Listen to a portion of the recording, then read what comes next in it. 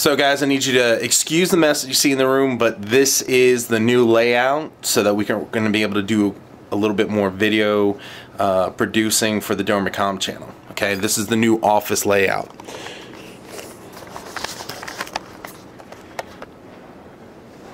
So as you come into the room, we've got the TV here with the Xbox 360 and some television goodness. This is all new. We ended up moving the futon couch out from the side wall to there. Um, remove the computers that were there because honestly just not necessary. Here we have our immense gaming table which we'll be able to actually potentially host some games online and have you guys go head to head against Doremicom channel, Hua. Uh, and over here we have a computer all kind of situated and set up so that we can do uh, Justin TV broadcast. So one of the things that's coming in tomorrow is AT&T UVerse.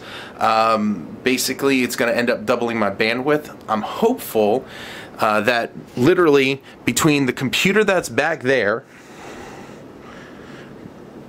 and potentially setting up another computer here um, that we might actually be able, and this is something we're going to test, okay, is the possibility of broadcasting a battle report on Justin TV on two separate channels. I don't know if it'll work, uh, but with us doubling the bandwidth to the house, could be kind of cool to see two different angles of the game going on at the same time.